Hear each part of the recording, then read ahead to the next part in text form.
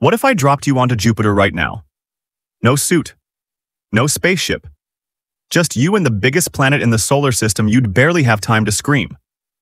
First, you'd hit Jupiter's upper atmosphere, like diving into a never-ending storm. Winds? Over 300 miles per hour. Temperature? Cold enough to freeze your soul. As you fall, it gets worse. The pressure starts crushing your body, like being under thousands of elephants. Every second, it's like the planet is squeezing you tighter. There's no ground, no surface to land on. You just fall and fall until the pressure and heat vaporize you into atoms. Yes, you'd be part of Jupiter now. Forever. Oh, and the center? Scientists think it might be a super hot metallic ocean. Survive that? No chance. Still think you could take on a gas giant?